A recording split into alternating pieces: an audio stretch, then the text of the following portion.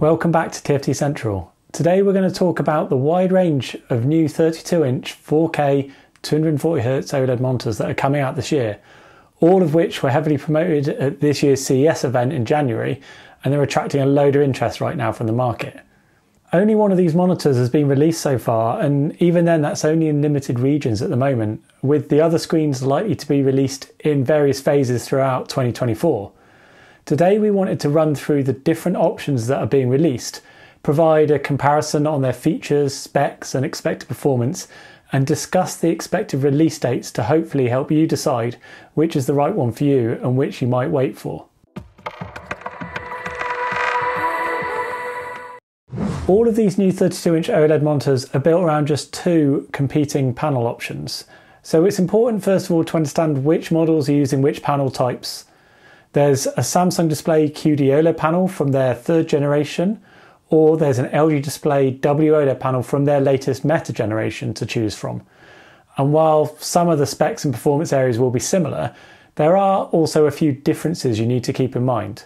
Both panels are accurately measured at 31.5 inches, but we'll call them 32 inches for now, with a 3840 by 2160 4K resolution and support for a 240Hz refresh rate. They both offer the near instant response times and per pixel level dimming thanks to their OLED panels, making them really well suited to gaming and HDR content. That's the simple part, but let's break down where the two are different. The Samsung Display QD OLED panels should be ready first, meaning that the screens based around this panel will be released to market first, as the panel itself went into mass production actually in December 2023. The Dell Alienware AW3225QF is the only monitor that's actually been released so far, available in North America already, but not in Europe at all yet. There have been other competing options announced already, including models from MSI, Asus, HP, Gigabyte, and Samsung. They're all using the new Samsung QD OLED panel, and this was developed as part of their new third generation, made possible by their new Pico inkjet process that was introduced in their third generation of QD OLED panels, allowing for that higher pixel density of 4K and the increase to 140 ppi. The panel is available in flat and curved formats, with Dell opting to use the curved version for their screen, but all the other manufacturers so far have only announced models with the flat version of the panel. The panel itself will feature the standard QD OLED coating, so that's considered semi glossy and it provides cleaner and clearer images than the competing WOLED panel, from LG Display that we'll talk about in a moment. It does also have some reasonable reflection handling from the added AR film. That avoids the fairly grainy appearance of the WOLED panels, but it doesn't handle external lights or reflections as well. All of these new QD OLED monitors will have the same standard QD OLED coating, with the notable exception of Samsung Electronics, who have for some reason decided to add an additional matte anti-glare coating to their panel. Because of the lack of a polarizer on these QD OLED panels, they will all have the same challenge when it comes to ambient contrast and black depth, and how the panel handles your external lighting. We did an extensive study on this last year, which is linked in the description below, but basically, as ambient light increases, these QD OLED panels have raised blacks and don't retain their contrast as well as the competing WOLED monitors. On the other hand, the QD OLED panels do have a wider colour gamut, offering around an 86% Rec 2020 coverage, compared with around 74% coverage on the LG Display WOLED panels. This provides better support for wider gamut content, including any content that's mastered in Rec 2020, and it can also cover more of other professional spaces like Adobe RGB, which is commonly used in the professional and photography market. So if you need to do color critical work in those color spaces specifically, then those QD panels will work a little bit better for you. The increased color gamut from the QD panel can also lead to a higher perceived brightness of colors in practice, which is something we plan to explore a bit more in the near future. So do hit subscribe to stay up to date on that. Speaking of brightness, the QD panels are quoted still with a peak brightness spec of 1000 nits for HDR, while the new LG Display WOLED panels can reach up to 30% higher at 1300 nits. Although it does remain to be seen how each screen handles brightness for different APL window sizes and what influence the increased colour gamut of the QDOLED panels will have on the perceived brightness in real use.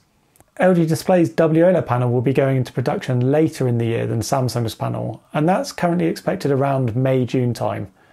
As a result, there's fewer monitors announced so far with this panel, and those that have been unveiled will be released later in the year as a result.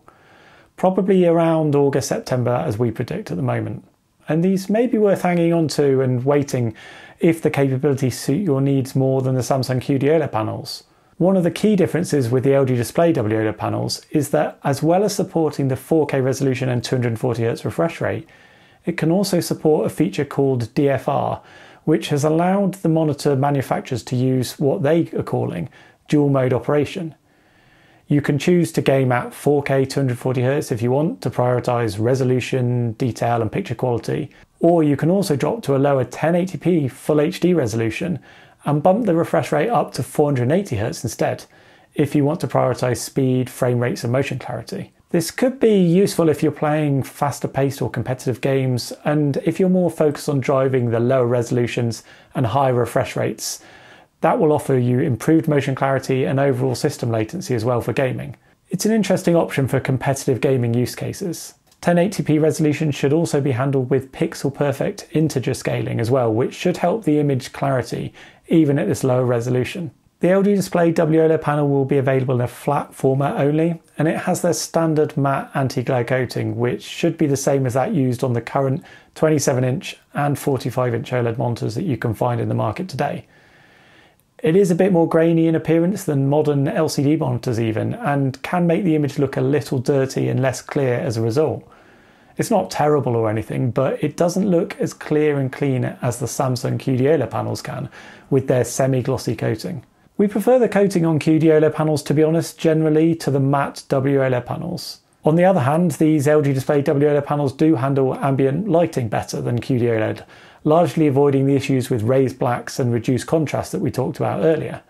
The coating also handles reflections better than the semi-glossy coating of QDOLED panels, so if you're using the screen in a well-lit room or your light sources are likely to cause reflection problems, then these panels are probably better suited. It's a little tricky to compare the text clarity between the new QD OLED panel and the WOLED panels at this stage, but we know that LG Display are moving to a brand new subpixel layout for their new 32 inch panel, moving away from the traditional RWBG layout used in their existing monitor panels like the 27 inch and 45 inch models, to a new RGWB layout. This is expected to improve the text clarity alongside the general improvements made thanks to the high resolution and increased pixel density Although we'll need to wait and see, of course, how these screens compare with one another when we get to test them later in the year. We know that Samsung made some decent improvements with their second generation of QD panels as well in 2023, updating their RGB triangular layout to have a more square shaped subpixel layout with higher pixel fill. And this has been carried over to their third generation panels as well, which is great news. We'll, of course, try and compare them side by side later in the year when we have both panels available but our expectation right now is that the text rendering and clarity should be very similar on both options and should be very good now thanks to the new layouts and the higher pixel density. As we mentioned earlier, the WOLED panels have a smaller colour gamut than the QD OLED panels, reaching around 74% Rec 2020 coverage. This is still fine, of course, for HDR and SDR content, but it can't quite cover the Adobe RGB colour space properly if that's important to you for your content also, colours don't look quite as bright and vivid as they do on the QD OLED panels. LG Display have boosted the brightness of their panels this year though, offering a 1300 nits peak brightness for HDR. We'll do more brightness comparisons later in the year when we've had a chance to test and review some of these new screens. Let's take a quick look at the different QD OLED monitors being launched this year. Only a couple of the screens have full product pages so far, and so the others we don't have full information for at this time. So there are some gaps in this comparison, but this will hopefully give you a good summary of the features and extras on each screen that we know so far, and then you can decide from there which will suit your needs and have all the things that you want from a new monitor. We won't go through every detail and spec, but obviously feel free to pause the video if you need to absorb more of the information shown on the screen right here. But there are a few callouts to highlight for each. The Dell model is the first to market, and it's the only curved model on this list. It's also got Dolby Vision HDR support and an HDMI 2.1 port that can handle eARC sound, which are features we've not seen available from the OLED monitors before. eARC sound seems to actually be exclusive to the Dell model so far at this time. Dell's warranty is also solid and specifically includes burn-in protection, which will give you some further reassurance. Although one of the key deciding factors here is probably whether you want a curved format or not. It's a fairly subtle curve, at least at 1800R, but personally we prefer a flat format in this size bracket. MSI's model could well be the next to market with the product page already live and some retailers having pre-order pages up already. This is a flat version and it's got an added USB Type-C connection with 90 watts power delivery and KVM support as well, which Dell's model doesn't have. They've also added a custom heatsink, which means that this model doesn't need any kind of active cooling fan like the Dell does, which might be important if you've got a quiet system. We expect the screen to be available around March time at the moment. The Asus model was actually the first of all these screens to be announced, all the way back at Gamescom actually in August last year, when we saw it in action and we had a chance to have a look at it. They've had some delays with its launch, but they still list it as expected for Q1. The Asus model also has USB-C and KVM support, and their model was also updated to include Dolby Vision support recently, which is good news, like on that Dell model. This one again doesn't need a cooling fan thanks to the added custom heatsink. Asus's OLED screens have all been very solid performers to date, and although they usually carry a bit of a price premium, this one might well be worth hanging on to see how it performs, as it's bound to be one of the popular options. HP's model also has Dolby Vision support and a KVM function, as well as USB C connection, which on their model supports a very high 140 watts power delivery, which some people might find useful. There is some confusion around whether this model will feature the latest DisplayPort 2.1 connection type, with it being mentioned on some pre CES announcements and spec sheets, but oddly then being entirely left off their formal press release announcement later in the year. We've not been able to get any confirmation either from HP at this time, and given it was left off the press release, and at no point did they ever confirm whether this was even using any of the new UHBR speeds, we'll list this as TBC for now. If you've read our recent article, you'll know that DisplayPort 2.1 isn't actually really needed to power this spec anyway, and there are good reasons why it's not been widely adopted yet, so this isn't really a problem right now. Of other note for HP's model is a focus on the audio capabilities of the screen, with sound that has been tuned by HyperX and even some added 4x3 watt speakers. They haven't announced a date yet other than that it will be later this year, but we expect it to land in Q2 sometime. Gigabyte showcased their new screen at CES, although we've not been able to get much real information on this from them at this time. Of note for their FO32UP monitor was the specifically listed inclusion of DisplayPort 2.1 connectivity with UHBR20 support, the full 80 gigs bandwidth potential of this new connection type. That's interesting in theory, although with very limited graphics card support and scaler support at the moment, it's unclear if this will mean other things are lacking or whether there may be later compatibility issues with input devices and graphics cards as they're developed and released. If nothing else, we do expect the reported inclusion of DisplayPort 2.1 to mean that this screen's release is delayed relative to the other monitors here and will likely be in H2 at best this year, although Gigabyte haven't confirmed anything official yet. It looks like Gigabyte are also going to release another version of the screen, the FO32U2, which seems to be largely the same screen but without that DisplayPort 2.1 connection. If that's true, it's very likely that this would be released sooner. More info on both of these Gigabyte screens when we get it, of course. Samsung also announced their equivalent at CES this year. Of note with their screen is the pretty unusual choice to add an additional matte anti-glare coating to the panel themselves, and so their screen will be the only model here that has a different screen finish.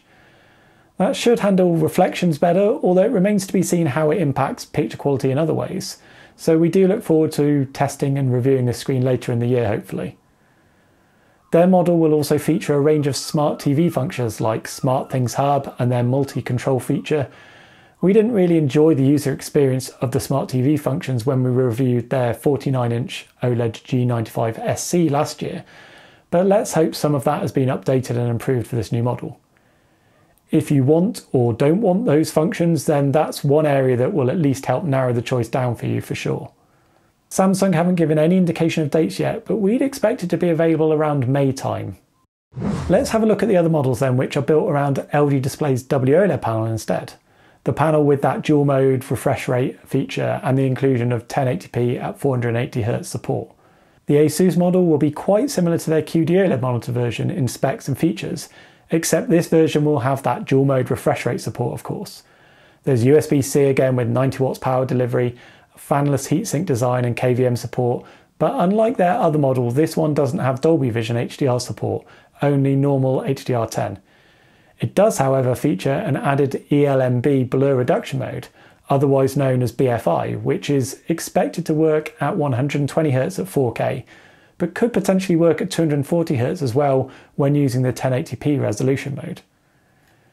Given the panel production isn't expected until around May June, we wouldn't expect this to be available until around August September time at best. The LG model is expected in a similar timescale, and notable differences are that their model will not feature USB C connection, but it does have some advanced sound capabilities, including their new DTS Virtual X certified Pixel Sound audio, where the speakers are located behind the panel for supposedly more immersive sound. Some of the other features are not provided yet for their model. So, there's all the currently announced 32 inch OLED monitors planned for this year, hopefully that's given you a good summary of the key features and specs known so far, and you can try and narrow down which model might be right for you. We'll be providing updates on these models and reviewing some of them later this year as they're released, so do hit subscribe to make sure you stay up to date. If you want to know more about the OLED panel development plans for this year and next year, check out our LG Display WOLED and Samsung QD OLED videos linked below. There's loads of exciting news in there about other sizes, resolutions, and refresh rates. If you're after a different sized OLED screen, there were loads announced at this year's CES event, and you can check out our summary of all of that news in the video that's linked on the screen now. Thank you for watching, we'll catch you next time.